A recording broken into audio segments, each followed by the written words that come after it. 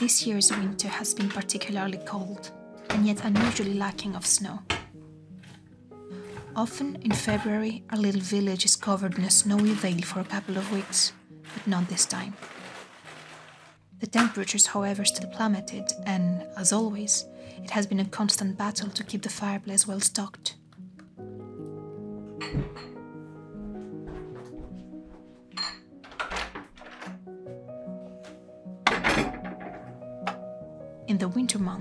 I tend to slow down in my everyday pace.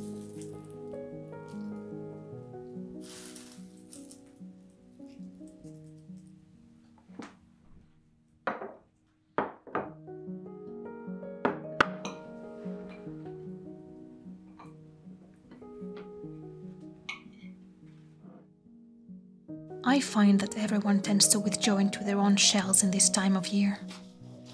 I am by nature very social, but in the middle of the winter, I like taking some time alone to work on myself and my projects. It is a sort of hibernation in which men recharge their batteries and prepare for the social hangouts of the warmer seasons. And while I enjoy the peacefulness of the winter mornings, the slow rhythm of the nature gently being nudged awake, and the coziness of the fireplace, part of me cannot wait for the sunnier days and summer barbecues. But in the meantime, I make sure to enjoy every second of peeling the verbena leaves off the branches with my grandmother and restocking our herbal tea supplies.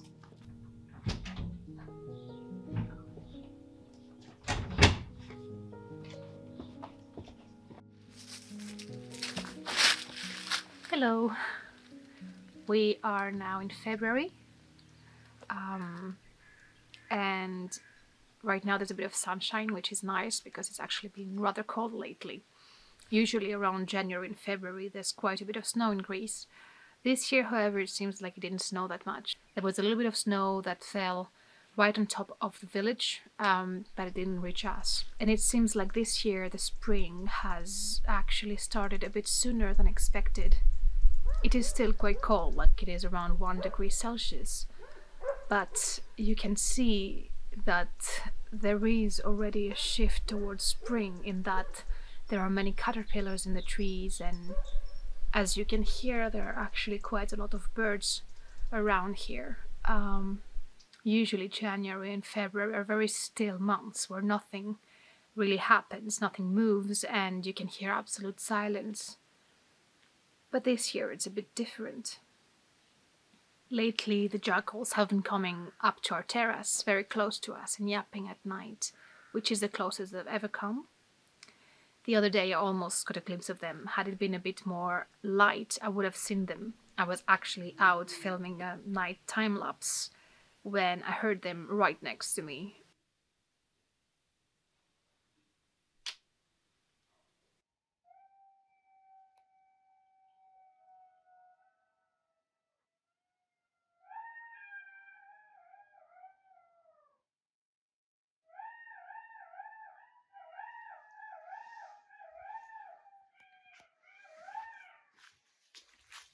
and they're getting closer and closer and I absolutely love that. I love that this house is in between the mountain and the village so it's still like the middle ground between human territory and the wild um, and I find that fascinating. We often see jackals when we go up and down the mountain when you're in the car, you can see them crossing the streets, uh, but it's always so fast that I never have time to grab the camera. Anyway, I'll go check the trees we planted last with Soto, see how they're doing, probably water them a bit, and then I'll probably go on a small walk, see if we can find any footprints. Anyway.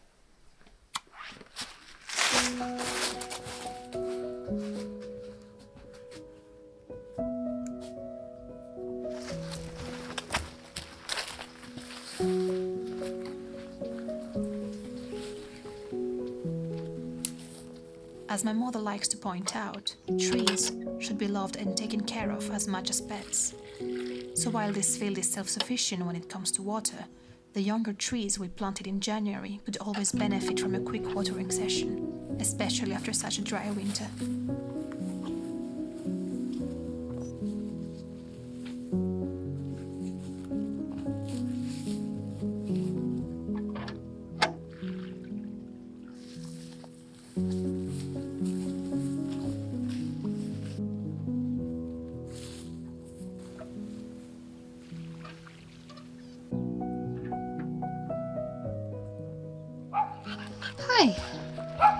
Then, Rosa, I'm going on a walk by our house and you might follow me. They're actually very sweet dogs. But as you can see, there. It's extremely filthy. She really needs to be taken care of. But they're very sweet. Anyway, this is a neighborhood around our house with all the friendly neighbors. And this is the way I'm going. So, trying to find jackal footsteps. The dead deros are still following me, but I think they're gonna soon lose interest. Where are you going, Rosa?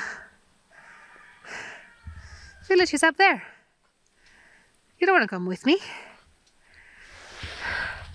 Apparently they do. It's gonna be hard to find footprints if they follow me because they're gonna step all over the place, but there are a few footprints. But it's unclear if it's dogs or not. Although dogs don't usually come that far. Obviously, right now, this is a bad example of them following me, but no one really comes here anymore because they're afraid of the boars, and the dogs don't get that far because they are afraid of the jackals.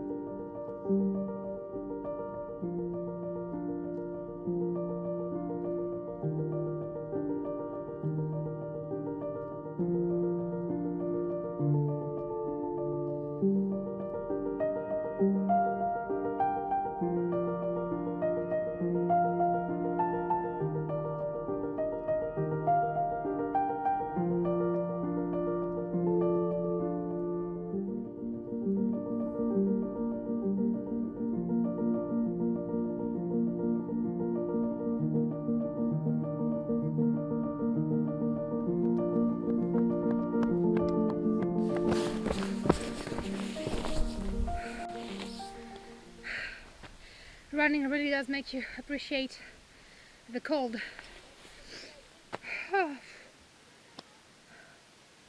So we're in the backside of the mountain where the village is. Uh, and this is where most of the villagers have their fields. And usually, from what I gather, the jackals really like to hang out where there is agriculture because they really like to eat the fruits when they fall, even if they're rotten. So this is usually where the jackals would be and then they would make their way up to the village next to our house probably because there were still some carcasses and bones left right and left uh, from all the food that the villagers give the dogs and the dogs there's so many that just go and hide stuff everywhere. So this is what attracts the jackals. So all the road we just took is basically the direct road from the fields to the village. This is probably where they come from each night. So tonight I'm gonna stay out and I'm going to try to see if I can hear them in our backyard and hopefully catch a glimpse of them. I might even leave them some food out to attract them. I don't even need, I don't think I even need to do that because objectively they're there anyway every night, but I think I'm gonna head back now. Time for lunch.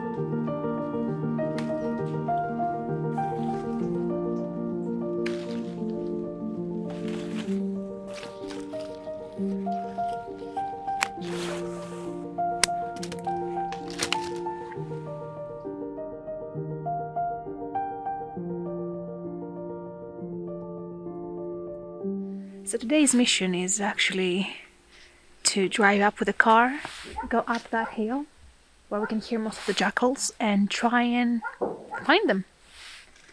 Or at least try and record the sound as clearly as possible and hopefully we'll be able to see them. We won't approach them because they're wild creatures and we don't want to disturb them. But overall, we're going to get as close as we can. So here we go. And right now we are preparing some warm tea to take with and some hot water bottles because it's going to be quite cold.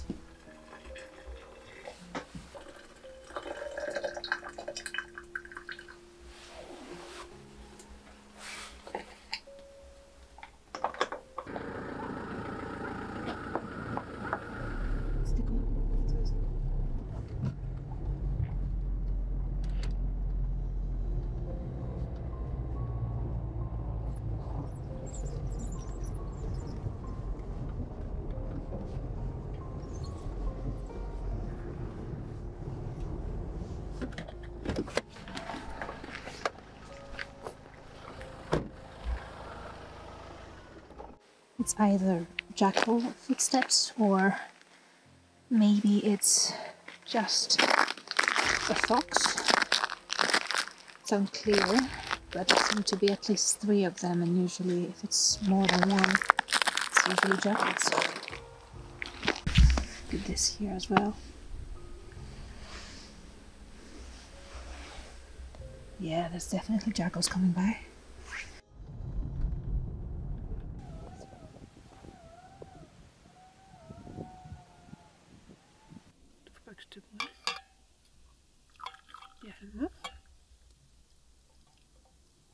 After a couple hours of waiting, it became clear that this wasn't going to be the night we would record the best jackal holes. So we went back home and decided I would try again the next evening, but this time I would just stay in our backyard.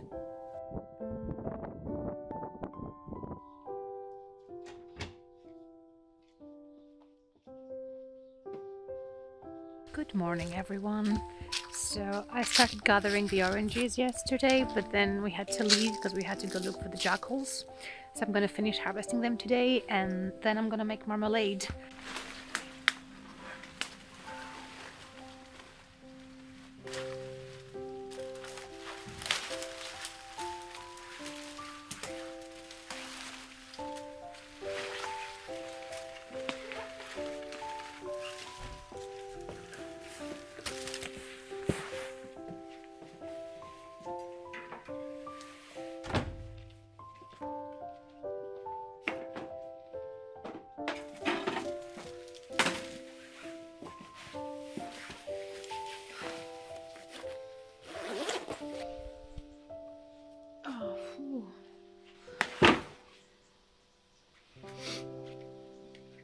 These oranges are bitter, which is why we have to let them sit in water for 24 hours.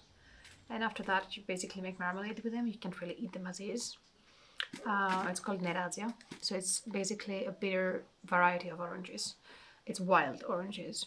Um, and we can make a lot of sweets with them, but they need sugar to be eaten because they're way too bitter otherwise. So now I'm just gonna cut them, slice them, put them in a jar, fill them with water, and tomorrow we're gonna start making marmalade.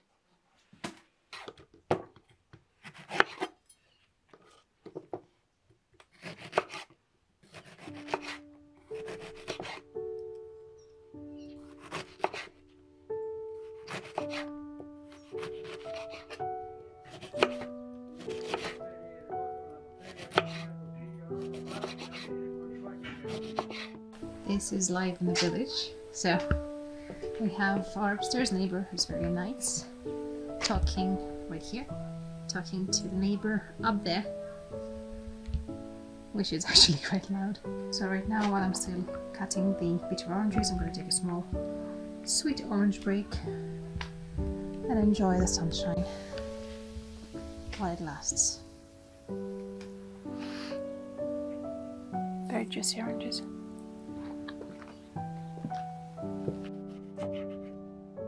Since November, we have come to the unpleasant realization that our cat Susie must have passed away. Usually, she would always show up one or two days after our arrival and hang out all day on the perch of our living room window. But this time, she didn't come.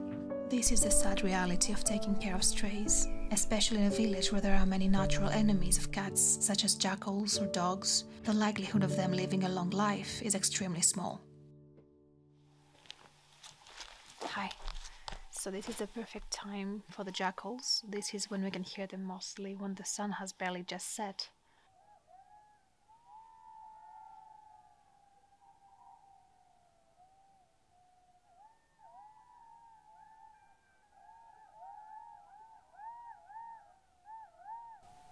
As you can hear, they're approaching slowly. Right now, they seem to be quite deep in the valley, but even with the last few yappings, you can hear they're getting closer and closer, which is amazing.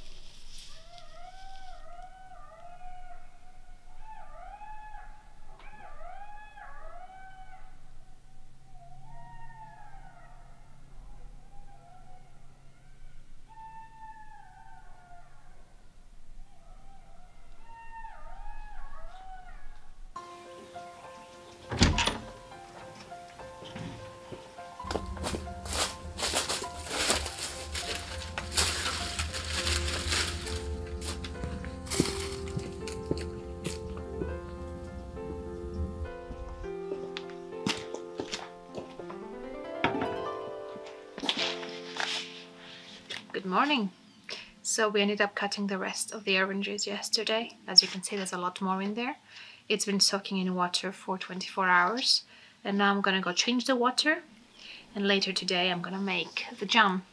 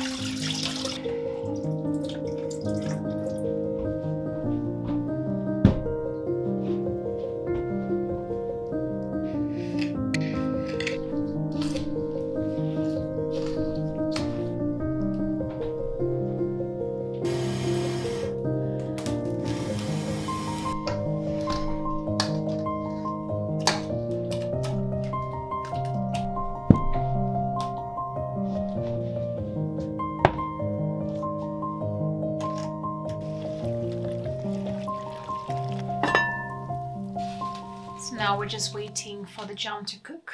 And when it's cooked, I'm gonna seal them into jars and we're gonna have breakfast with them tomorrow. So I'm actually thinking, should I make some bread?